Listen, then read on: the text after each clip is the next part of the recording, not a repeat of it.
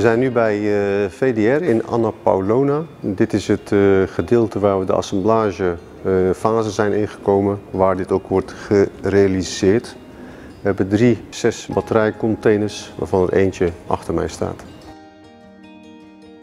Vorig jaar waren we bezig met het designen en we zitten nu in een assemblagetijd. Dus nu komt eigenlijk alles in praktijk uit.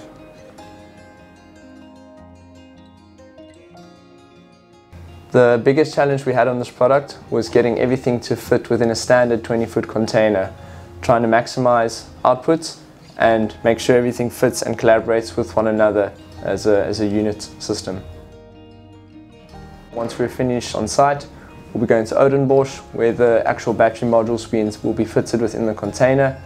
From there there'll be factory acceptance tests to be carried out to ensure all systems are functioning as intended and to make sure we have a safe product for the market. It had a, a few challenges, but it was exciting to, to be a part of something that, that's new to the market, something that's fresh and requires you to, to be creative and think outside of the box to bring something new that hasn't been done before and uh, make, it a, make it as best as possible.